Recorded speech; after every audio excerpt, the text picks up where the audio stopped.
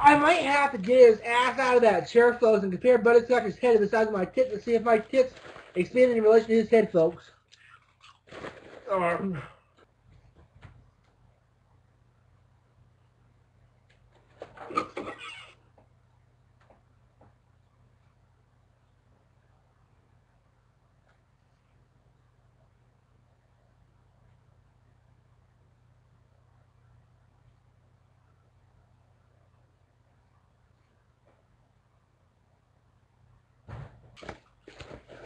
fuck in Jensen, Anybody scotch?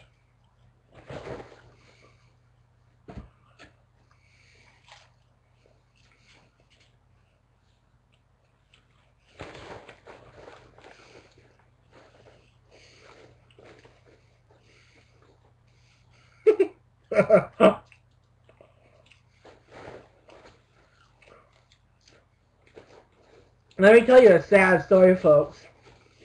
My cat actually has cancer. And we have to get it taken off him.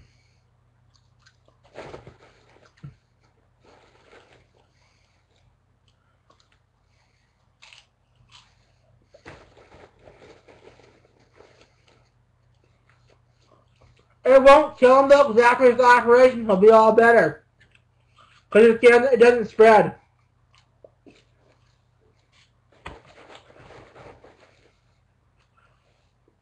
It